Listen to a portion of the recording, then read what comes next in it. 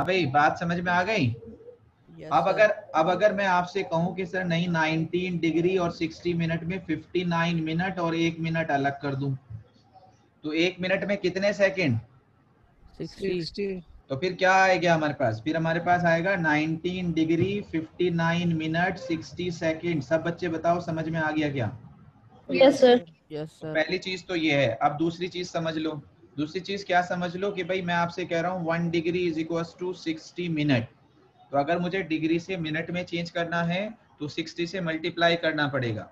लेकिन अगर मिनट से डिग्री में करना है छोटे से बड़े में करते हैं तो आपको पता है क्या करना होता है?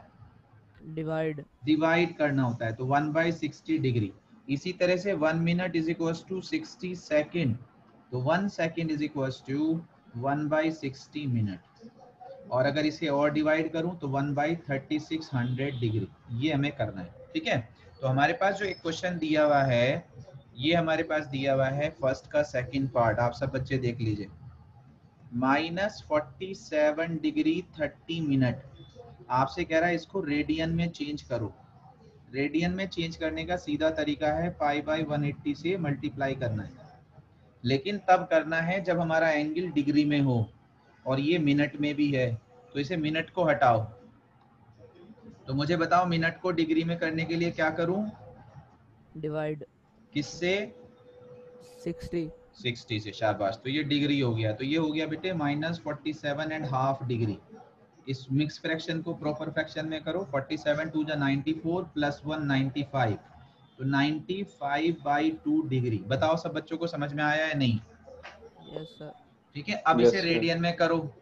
रेडियन में करोगे तो क्या होगा? Minus ninety five by two into pi by one eighty तो टू से हमारे पास ये हमारे पास क्या हो जाएगा? 95 फाइव फाइव से अगर हम कैंसिल करें तो कितना आएगा? 19 19 और फाइव से करें तो कितना आएगा? 36 36 तो 36 टू जा कितना आएगा? 72 रेडियन ये आंसर है। सर समझ में आ गया? Yes sir. Yes sir good चलो जी एक क्वेश्चन और देखो। ओफो भाई।